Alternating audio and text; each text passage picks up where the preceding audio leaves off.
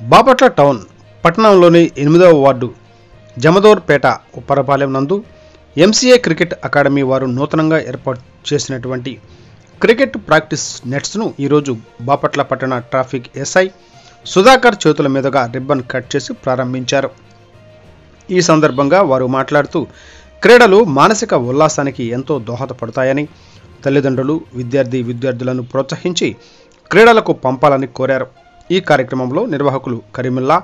coach Aamir Basha ప్రముఖ వక్త Shafi senior player Raghu Bapatla వార్తా అసోసియేటెడ్ ఎడిటర్ చెల్లి అశోక్ కుమార్ తదితరులు